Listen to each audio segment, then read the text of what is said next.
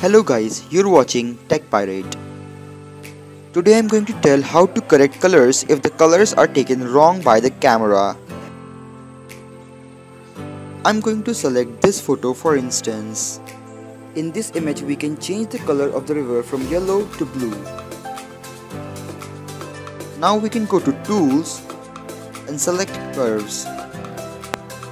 In curves there are mainly 4 channels that is red, blue, green and the combine of them all that is RGB.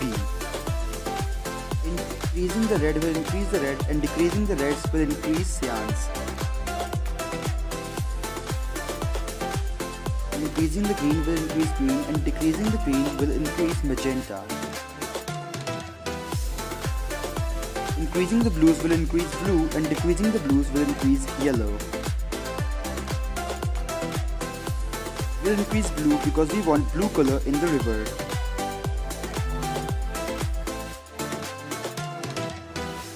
And decrease the reds to increase some cyans, it will add the bluish effects to the river. Don't get worried about the whole picture. We'll improve that in another section. Now press the tick button. Now touch on the upper button here select View Edits. We can see the curves that we have applied in the previous section here. Now touch the middle icon. In this section we can apply blue color to the selected area of the river. We can see up and down arrows below. With this we can increase and decrease the amount of blue that we want to add in the river. Now we can start painting over the river. I have chosen 25%.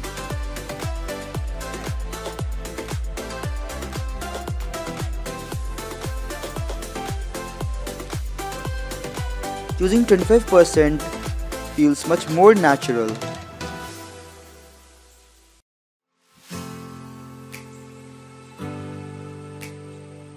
I have painted an extra area near the yellow building.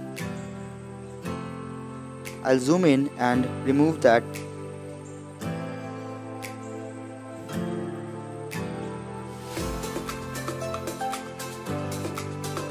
Make sure the selection is perfect and then press the tick icon in the corner. See, it has applied blue color to the river. Long press to see the previous. Image is ready to save and we can save the image. And it will apply all the effects that we wanted in the image.